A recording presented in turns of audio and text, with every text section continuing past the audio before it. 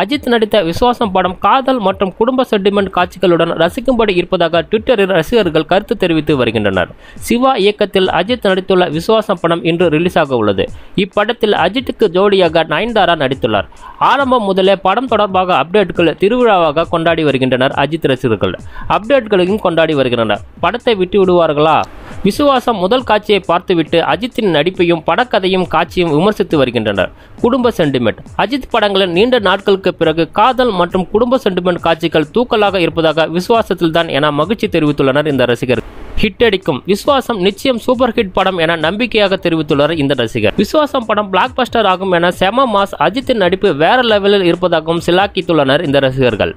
தல என்று முதல் பத்து நிமிடங்களிலே படம் புல்லரிக்க வைத்து விட்டதாகவும் கூறுகின்றனர் இந்த ரசிகர். அதிலும் குறிப்பாக அஜித் வணக்கம் கூறும் காட்சிகள் தியேட்டர்களில் எழுந்து நிற்கிறதாம். அஜித் நாற்காரையில் அமர்ந்த பிறகுதான் மறுபடியும் ரசிகர்கள் தியேட்டர் இருக்கைகளில் அமர்கிறார்கள் என்கின்றனர் இந்த ரசிகர்கள். மொத்தத்தில் விசுவாசம் அஜித் நடிப்பில் வேற லெவல் மரண மாஸ் என்கின்றனர் ரசிகர்கள்.